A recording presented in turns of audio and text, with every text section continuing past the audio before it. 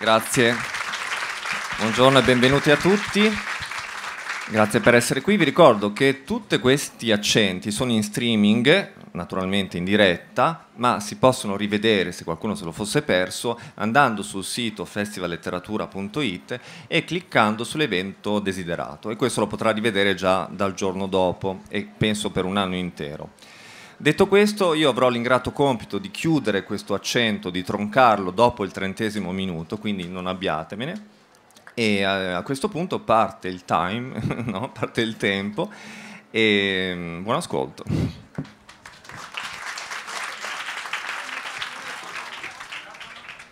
Buonasera, buonasera a tutti e benvenuti a questo incontro dal titolo un po' troppo ambizioso, quindi non vi spiegheremo come combattere le bufale, del resto non è nemmeno il nostro mestiere. E anzi in particolare parleremo di un tipo speciale di bufale, insomma, bufale del cielo, dell'aria e del clima, perché ci sono più bufale in cielo e in terra di quante noi possiamo elencarne in mezz'ora.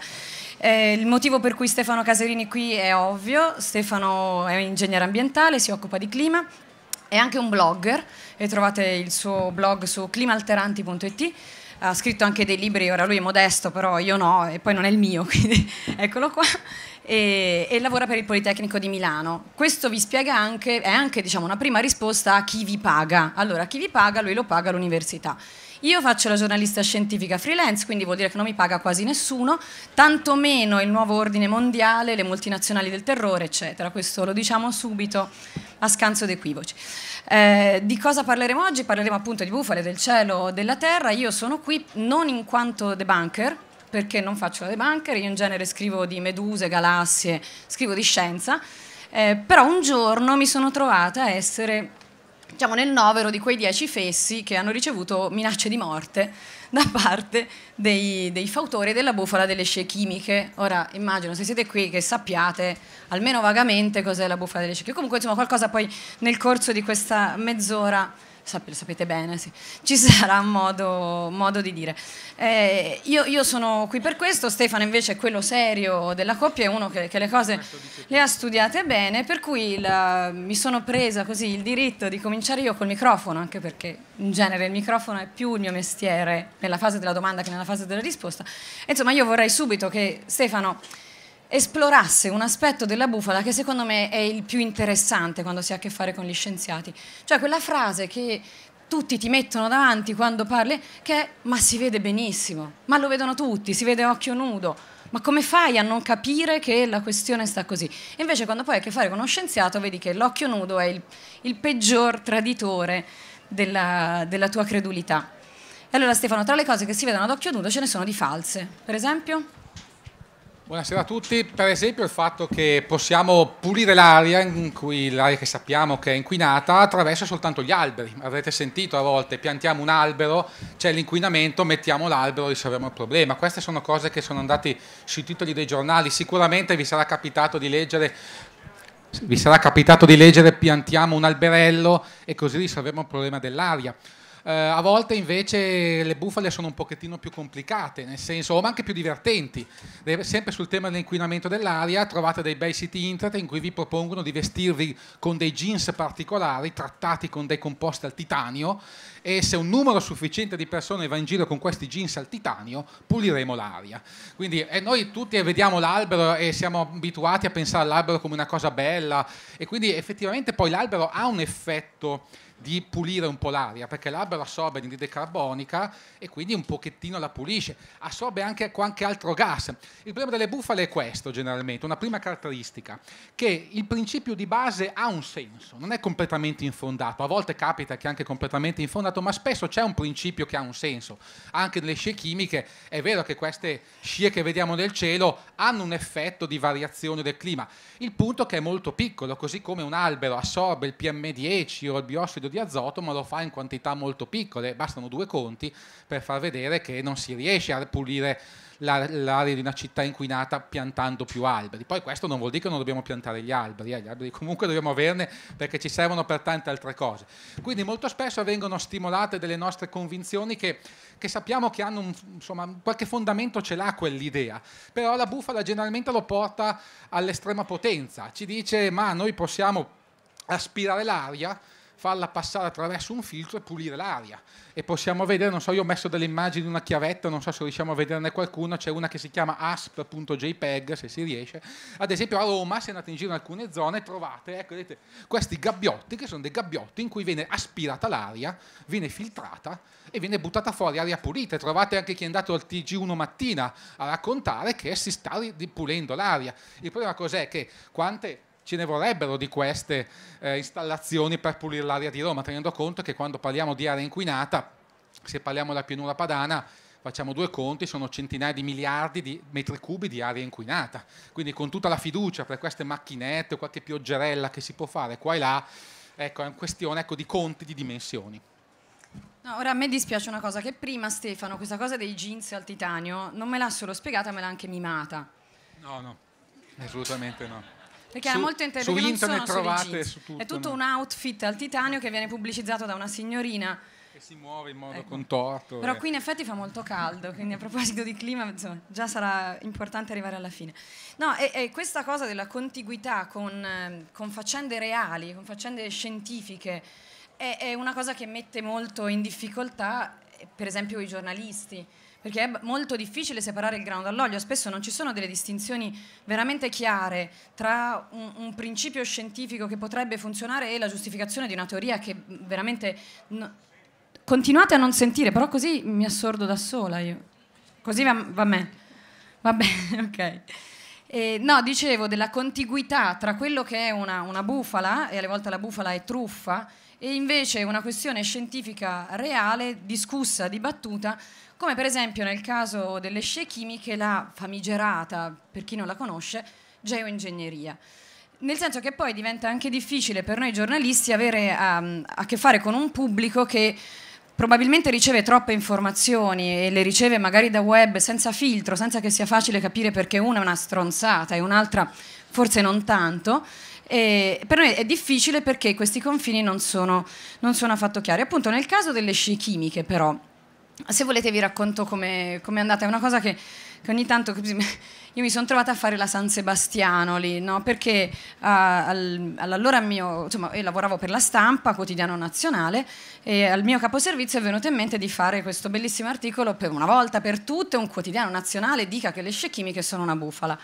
Allora, non so perché ci fosse un'urgenza di cronaca, però io mi sono divertita molto a ricostruire questa storia. E questa storia è una storia mm, che non ha molto di, di originale. Cioè, c'è stato un signore che nel 97 ha pensato di costruire un business eh, contro il terrorismo climatico. Anzi, in realtà all'inizio era il bioterrorismo, poi questo ha un po' messo lì un po' di cose. C'erano le prime mailing list e lui in una mailing list alla quale si iscrivevano persone che erano interessate nell'ambito del bioterrorismo, del terrorismo di altri tipi, lui ha prima provato a inventarsi un po' di guerre batteriologiche, gli è andata male, e poi si è inventato che nei campi di non mi ricordo quale stato americano erano stati trovati metalli pesanti così, e il sospetto, corroborato da non si capisce quale prova, un sacco di punti esclamativi e di maiuscole già allora, era che venissero spruzzati dagli aerei. Eh, questa ovviamente è una stupidaggine, cioè, nel senso può anche darsi, però ecco, l'onere della prova dovrebbe stare a chi la ferma, non a chi dice guarda che la maggior parte dei, degli aerei che vedi sono Ryanair, di gente come me che va a Malaga, eh, cioè, mettiamoci un toppino, cioè, così, oggi tutti quanti prendiamo un low cost. E questa cosa però appunto ha avuto una crescita dovuta anche ai giornalisti perché nel 99 ci fu un programma radiofonico che la rilanciò e da quel momento è molto suggestiva l'idea che esista un programma per avvelenarci tutti. Ora, questa bufala appunto è simile a una cosa di scienza che magari poi tu ci spieghi perché invece non è così allarmante, anzi, anzi ha, ha tutt'altro scopo, che è la geoingegneria, però ha i caratteri esasperati della bufala prototipica, cioè le bufale hanno delle stereotipie che sono state studiate dai sociologi, quelle ve le trovate da tutte le parti. In genere sono risposte a un problema, noi esseri umani, quando abbiamo dei problemi troppo grandi, cerchiamo delle risposte. Se sono facili, siamo ovviamente felici. Se possiamo attribuire un problema o una cosa misteriosa, un essere sovrannaturale, abbiamo fatto bingo. Noi per tutta la vita abbiamo il nostro altarino, cioè va bene così. E in questo caso, però, nel caso delle scie chimiche, quello che mi ha colpito mentre scrivevo l'articolo è che il problema non c'è. Cioè, non è vero che stiamo morendo tutti per strada, Al, almeno a, a, me non è mai capitato, ma anche voi vi vedo, non, non succede niente. non esiste, non esiste, un problema reale di avvelenamento, esistono problemi che ciascuno di noi può attribuire alle scie chimiche. Infatti, se andate a vedere le cose delle scie chimiche, ci sono quelli che dicono che fa venire le malattie della pelle, quelli che dicono l'aumento dei tumori, quelli che dicono il peggioramento della qualità della... tutte cose che, che sono tagliate su misura su chi lo stesso, eh, la seconda caratteristica della bufala, cioè il nemico, no? no tu hai un problema, ti trovi un nemico. Chi è il nemico? Eh, nel caso della scia chimica dipende. Io ho trovato dal Vaticano agli americani con la K a chi vi pare a voi, il nuovo ordine mondiale, eccetera. Lo strumento con cui questo crea il problema, anche lì è variabile, no? Cioè, ognuno di noi ha una paura. Qualcuno ha paura degli alieni? No? Gli OGM? Dai, Qualcuno, ah, gli OGM fanno paura a tutti. Ecco, gli OGM. Allora, le scie chimiche spruzzano OGM. Sei fregato perché le scie chimiche. Qualcuno ha paura dei protozoi. Protozoi. Se avete paura dei protozoi, vi può anche andare bene. Ho trovato anche questa cosa qui dei protozoi.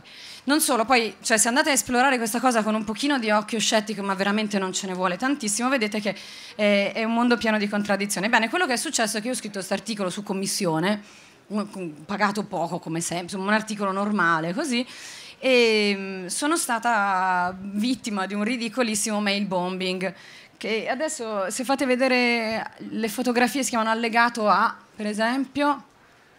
Vabbè questa sono io questi hanno fatto questo vabbè era il mio profilo Facebook così. E c'è Rosario Marcianò che è la cabina di regia delle bufale in Italia. Non vorrei fosse qui Rosario poi se ne parla. Comunque insomma Rosario Marcianò eh, dichiara a tutti, mandali un messaggio, gliel'ho già inviato a modo mio, bastonata, e questo è sempre lui, eh, tra l'altro. E quindi insomma comincia questo, questa cosa, vai allegato B, su diverse bacheche Facebook, perché questi ne hanno tante, e, è sempre lui, anche Tankereni, cioè, vabbè, è sempre lui, però poi la gente arriva. Io qui ho, veramente, siccome sono dovuta andare alla polizia, cioè ho centinaia di foto così, ve le risparmio. Quello che è interessante è che, vabbè, buffo, media di regime, io divento media di regime, divento pagata da questo e quell'altro, e divento, metti quella con la parolaccia, essendo femmina, è un attimo, divento subito No, questo è bellissimo. Eh? eh? Della prova è il classico discorso di merda dei cicappini. Abbiamo capito tutto. Su una cosa mi tocca dare ragione a lei. Se davvero qualcuno le ha scritto le cose che dice è stato veramente stupido, ha finito con gettare merda, bla bla bla, però resta una gran mignotta. Questo è l'acme della dialettica che abbiamo raggiunto con ottima considerazione, Deborah.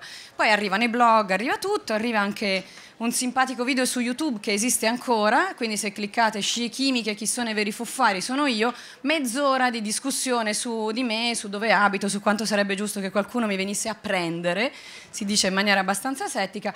E, ehm, e, e, e, ci sono delle foto mie, cioè vera, veramente, ma tipo io col gattino, queste cose che uno fa in gioventù, che sono state recuperate e messe lì per dire guardate c'è un gattino. Vabbè. Però io mi, mi, sono guadagnata una fama mm, niente male invece con quella cosa che si chiama con la lettera G, con il finto profilo Facebook, che è, penso veramente un giornalista non può desiderare di meglio. Quella cosa JPEG con la G? La trovi? Finisce per A. Dai, che mi rovini la sorpresa. G-O? Non è giornalista, dai, su. Vabbè, mi hanno fatto un finto profilo Facebook che adesso vi vorrei far vedere. Non si trova.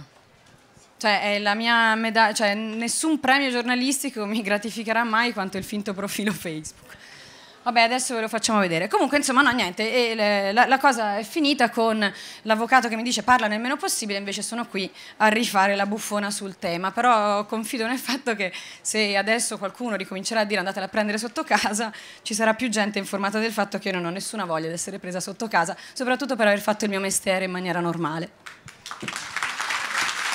Applauso meritato, direi. Devo dire che comunque ha avuto anche molte mail di... di... Vai, vai. Eh, è durato pochissimo perché ho avuto anche una serie di difensori, tutti maschi, mi arrivano tuttora mail di, di uomini che dicono Bencivelli la proteggo io.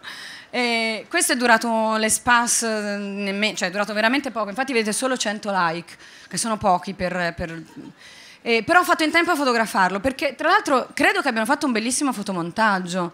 Cioè, eh, infatti, e, vabbè, e qui sotto non lo potete leggere, ma dice dalla disinformazione all'infamia vigliacca da parte di una giornalala della stampa che si diverte, maiuscolo, come afferma, virgola, a scrivere delle scie chimiche, punto. Sì, io direi che sicuramente eh, hai ricevuto comunque anche mail di solidarietà, questo fortunatamente nel web a volte si trovano comunque anche quelli che sanno comunque vedere dove sta un po' la ragione.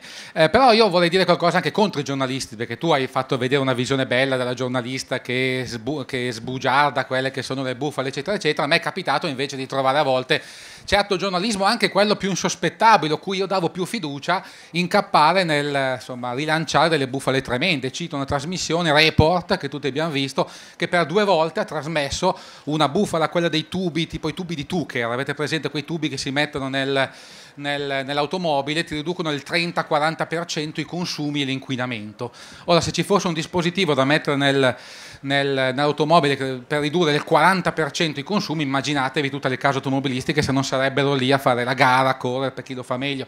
Quindi a volte la bufala può essere appunto magari discussa partendo, cioè il dubbio può venire, ma possibile che proprio nessuno ci abbia pensato, che debba essere report a raccontare di questa signora che si incatena per eh, avere l'omologazione per il suo dispositivo, quando insomma, si trova facilmente un, un, un, principio che non aveva fondamento chimico, ecco. però questa cosa che si rilancia, oggi vengono venduti tubi Dukic, insomma queste cose qua. Io però volevo fare una precisazione a quanto dicevi quando parlavi della stronzata, perché in realtà molte bufale non sono stronzate, sapete che c'è un filosofo, Frankfurt, che ha scritto un libro che si intitola Stronzate, in cui faceva un'elucubrazione abbastanza dotta, non del tutto condivisibile secondo me, sulla differenza fra una bugia e una stronzata.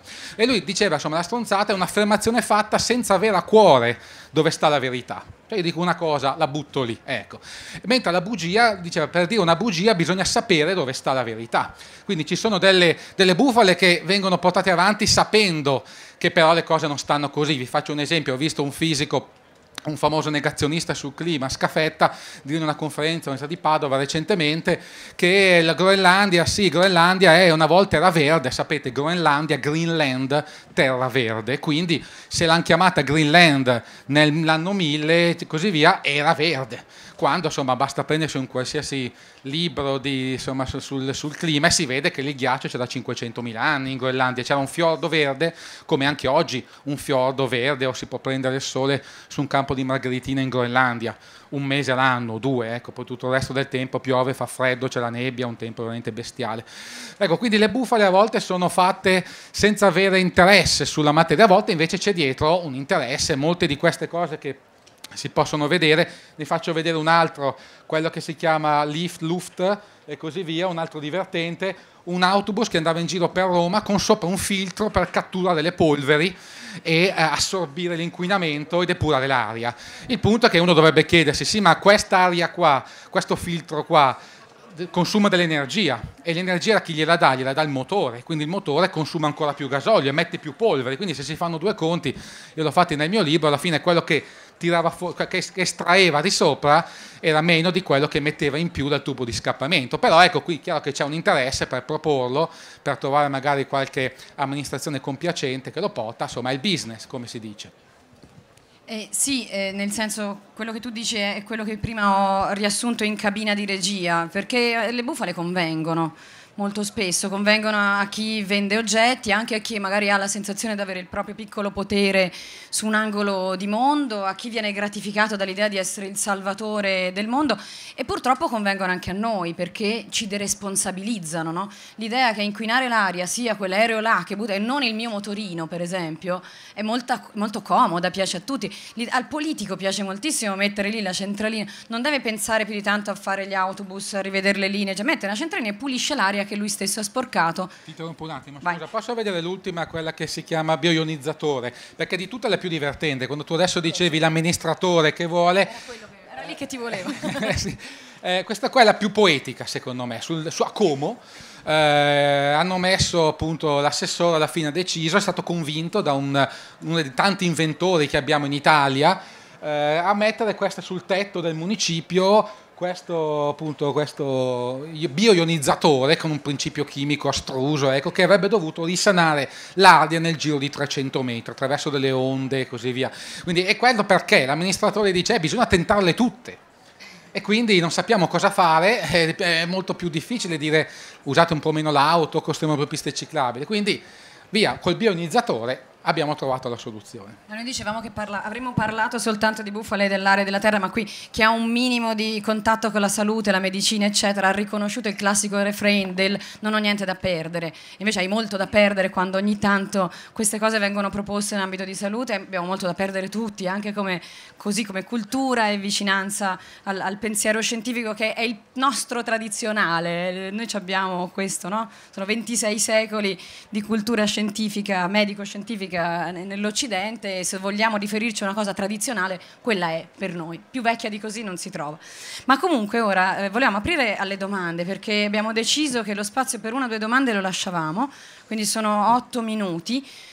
E io volevo però che tu alla fine di tutto questo per almeno una cosa ce dicessi perché io faccio la giornalista quindi sono fuori da non dovete darmi retta ma di tutto quello che abbiamo detto ne abbiamo dato la colpa a tutti.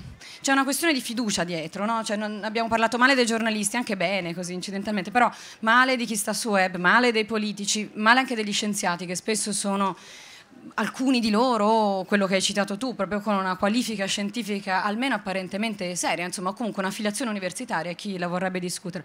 Insomma, alla fine noi non sappiamo tanto bene di chi fidarci ci dici, prima di aprire domande al pubblico, perché da adesso dovremmo fidarci di te. Di me in particolare no, ecco, della, della, scienza, forse perché la scienza è un processo di scetticismo organizzato. Il metodo scientifico si differenzia da tante altre, il dibattito scientifico si differenzia dal dibattito che si può fare al bar o in altri contesti per il fatto che c'è un sistema che viene chiamato di peer review, di revisione, per cui le idee per avanzare devono essere controllate. Prima di pubblicare su Nature, su Science, un'idea viene sottoposta al giudizio di altri studiosi del settore settore, e questo è importante, che cercano di trovarci errori e viene pubblicata solo se sopravvive a questo meccanismo cui generalmente vengono, che porta alla morte il 90% delle idee, per cui molte di queste bufale scientifiche non le trovate sulle riviste scientifiche, magari trovate il trafiletto sul Corriere della Sera o su un altro quotidiano nazionale, però è poco probabile che sopravviva a questo meccanismo della peer review. Poi succede, eh, succede che anche, siccome è un fatto umano il processo scientifico, anche su alcune riviste scientifiche autorevoli possono capitare degli errori, però ecco è uno su mille, gli altri 999 vengono bocciati. Quindi il dubbio, quando avete dei dubbi su, eh, su magari la serietà di alcune proposte, un, un, una, una, ricerca anziché su Google, ad esempio farla su Google Scholar, che è la versione di Google che fa un primo filtro, fa dei siti scientifici, vi può dare un aiuto per cercare di capire cosa dicono gli studiosi del settore e generalmente dicono cose che possono essere utili. Grazie. Vediamo se qualcuno vuole rompere il ghiaccio. Qui, domande brevi e intense. Volevo portare a conoscenza che, per esempio, come bufale, negli ultimi due anni in, alcuni paesini della Gordina o delle Dolomiti bellunesi è stata avanzata l'ipotesi, siccome c'era una recrudescenza dei topi in un anno e delle vipere nell'anno successivo, che fossero stati lanciati dall'elicottero e allora io ho chiesto, ma dove sono gli allevamenti di questi animali? Perché io li voglio andare a vedere questi allevamenti di questi animali. No? Quindi nella forestale sapeva niente, nessuno sapeva niente di questi e allora sono stati costretti a stare zitti. chi li mandava giù questi? La forestale con gli elicotteri. Ah. Perché c'era bisogno per i topi di, di, fare in modo che le vipere aumentassero per l'equilibrio ecologico delle montagne e così anche le vipere perché i rapaci dovevano nutrirsi di queste e quindi venivano buttati con l'elicottero. C'è, un esperto di piccoli mammiferi in grado di dirci se un topo sopravvive a un lancio dall'elicottero? No, perché c'è di tutto a questo festival. Un erpetologo ce l'abbiamo qua. No. Dov'è? abbiamo l'erpetologo, l'esperto di piccoli mammiferi. O- ovviamente il piccolo mammifero sopravvive con un piccolo paracadute ed è lì il core business della cosa, no?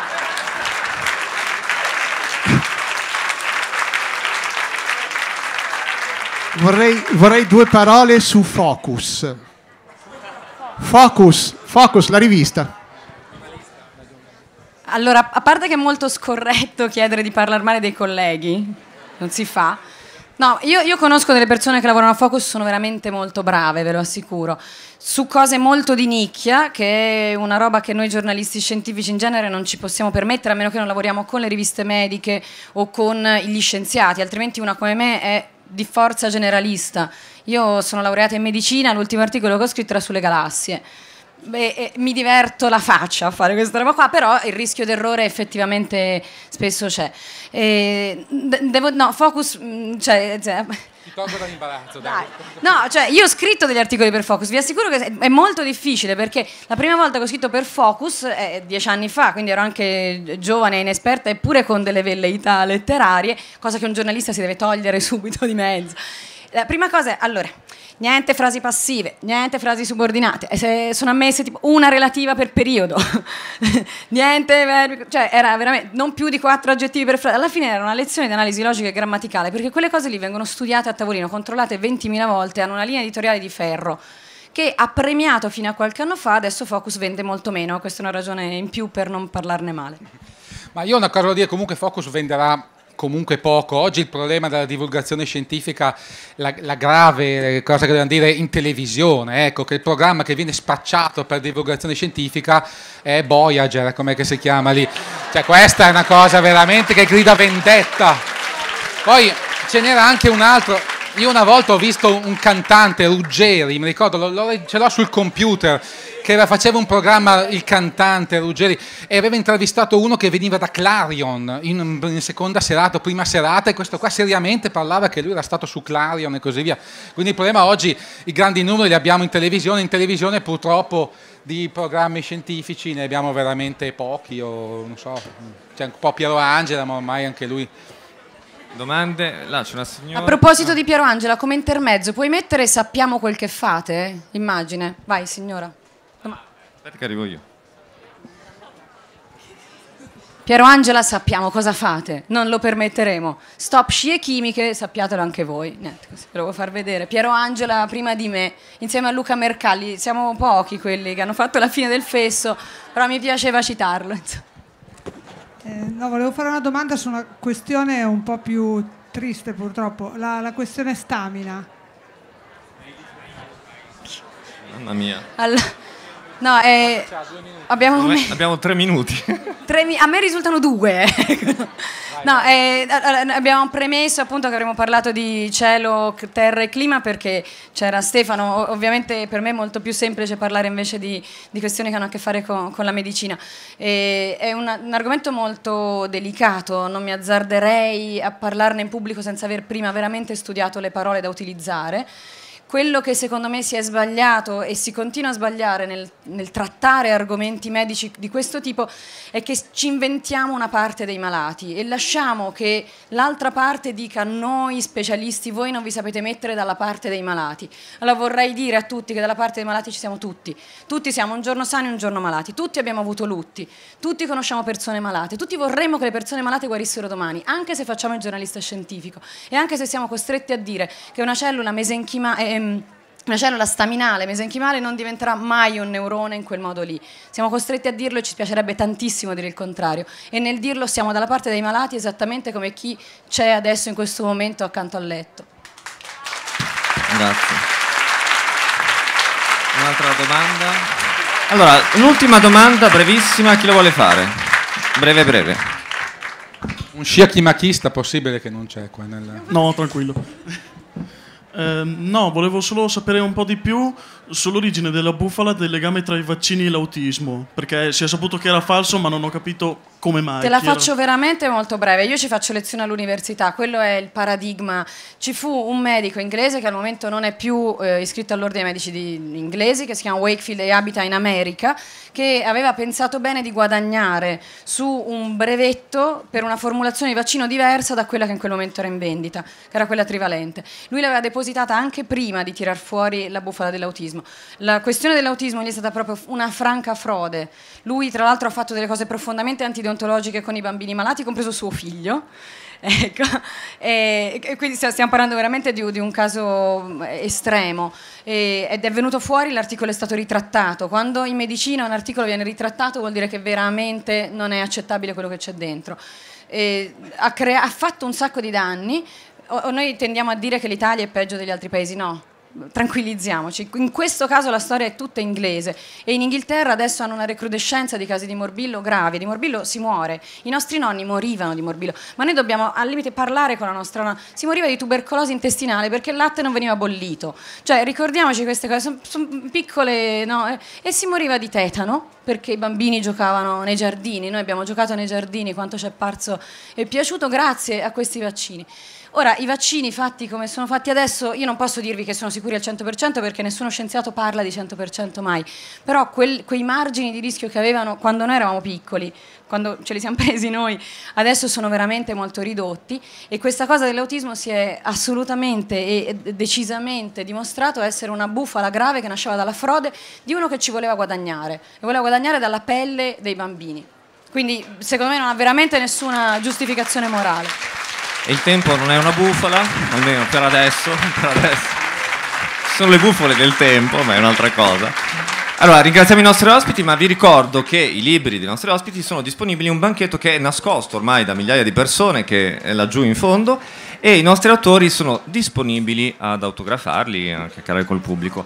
Ovviamente, eh, no, neanche a dirlo, vi chiediamo di fare una fila ordinata in modo che tutto possa scorrere, ma questo mi sembra superfluo raccontarvelo. Grazie, buona serata, a più tardi.